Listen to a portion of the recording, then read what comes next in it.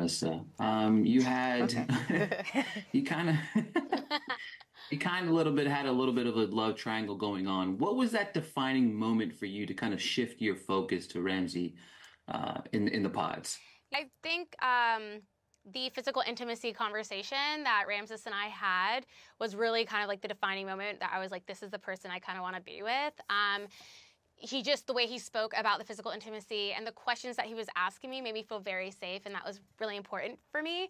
Um, bowden didn't really want to talk about that stuff on camera and i really was like i want the person who's in this experiment with me to really be in it and ignore that you know we, i want to be in a bubble. And so i felt like bowden kind of burst our bubble a bit and it was really hard for me to kind of get back in there with him uh, Hannah, I think you had one of the most interesting moments in the pods in, in Love is Blind history for sure.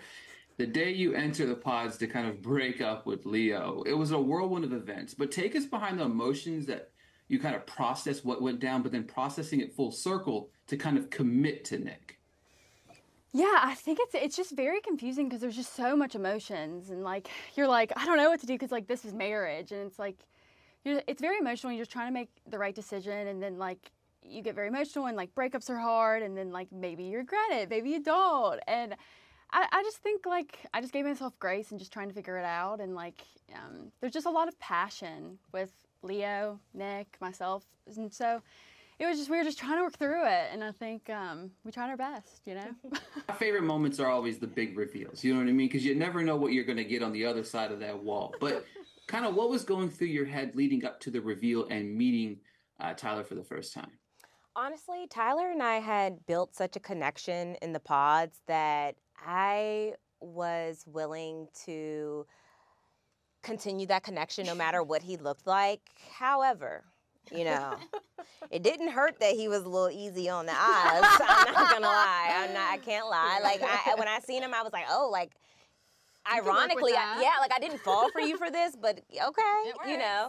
So um, yeah, he was super nervous, and, and, and I was a little nervous too, to my surprise. Um, but I think we both were pleased with what we saw, and that the you know the heart matched uh, the package. Yeah, period. Look. Taylor, I think one of the more fascinating things was is you didn't really allow the conversations to explore on your background of your culture and ethnicity. Yeah. How important was it for you to find love based on those conversations versus anything else?